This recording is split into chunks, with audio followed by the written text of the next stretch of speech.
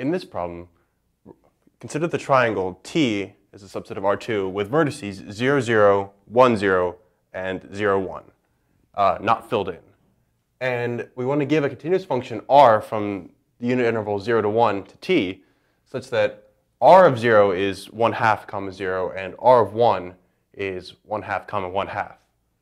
So drawing this out, so this is x, this is y,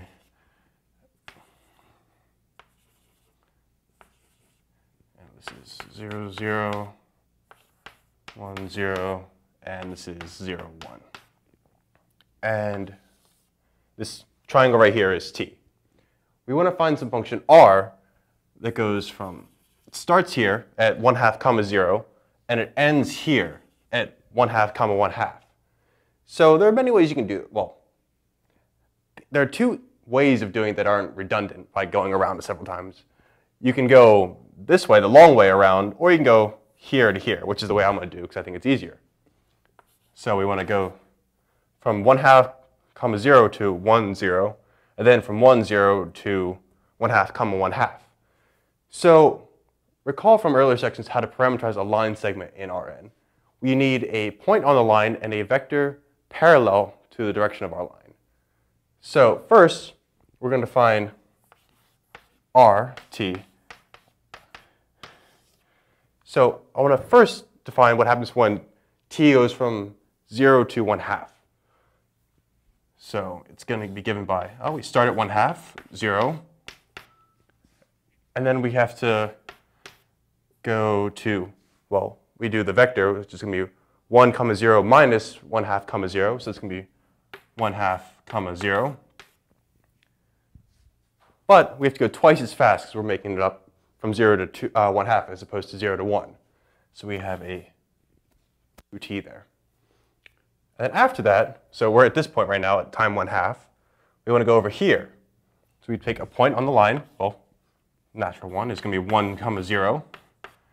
And then we have to go to 1 half comma 1 half. So that's just going to be the vector parallel to that direction. It's going to be 1 half comma, sorry, minus 1 half comma 1 half, because we're given by 1 half comma 1 half minus 1 comma 0. But we have to be careful because we have to, we're going at a different speed than normal. We're not going at a unit speed. So the actual way to remedy this, sorry, move this over a little bit. You do 2, like here, going twice as fast, t minus 1 half.